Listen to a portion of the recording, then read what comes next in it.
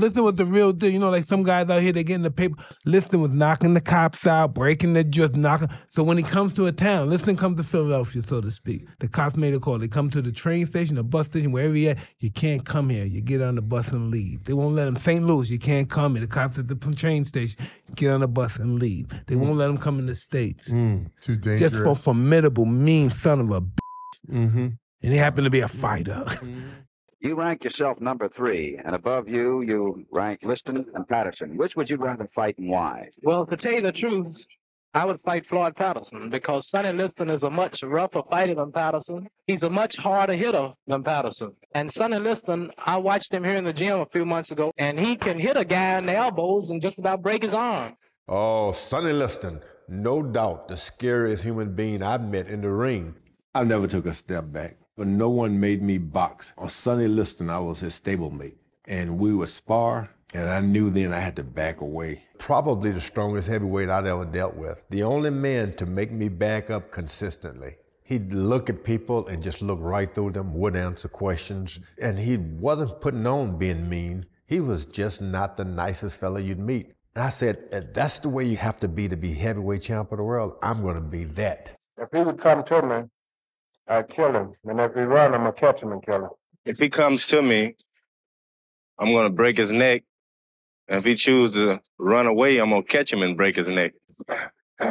Liston was a great fighter. I seen him knock out a guy's teeth one night, and this is literally it's the truth. There's no baloney. Hit him so hard he dislodged the mouthpiece, and the teeth went with the mouthpiece. Liston with another left hook, a right and another left, and Bethea is down. I'd seen him fight guys that were devastating punches. I've seen him fight those guys. I've seen those guys knock the daylights out of him for a while, but then he would always come on to knock him out.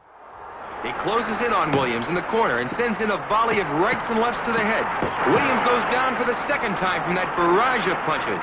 I had 147 fights, four world champions I fought. I fought nine guys in the top 10, and uh, nobody ever hit me like that guy. Every time he hit, he broke something. So I went to 10 rounds with him. Uh, he broke my nose, my left cheekbone, and gave me 72 stitches. Your own mind, you felt that you had to fight him, but I don't believe the public or the press would have ever criticized you if you had never fought him. Well, that's true. In fact, there are many people that told me not to fight him because of his reputation. My manager, for one, the NAACP, and many, many other organizations, as well as the press, asked me not to fight him. First, you have to look at it like this. Sonny Liston was led into boxing. He fought his way up. He eliminated all other competition, and he fought himself up to being the number one contender. And I feel that he deserved the chance. And I wanted to continue being the heavyweight champion, or at least feeling like it. That's why I gave him the chance.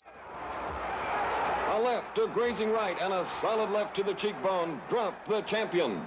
Well, I would say that Sonny Liston is a extraordinarily good fighter, a very strong fighter, a very determined fighter. Sonny Liston inspired me. He was in jail. He got out. He fought his way to the top. He beat everybody in front of him. So that inspired me to do something with my life while I was there in reform school and in prison. Going back 15 years, how would you rate Liston as a champion? Sonny Liston was, before I fought him, considered one of the greatest fighters in history. Sonny Liston had a punch that knocked out Floyd Patterson with just about one round twice. One fist as big as both of mine. Everybody was scared of him. Were you scared of uh, Liston? Scared to death.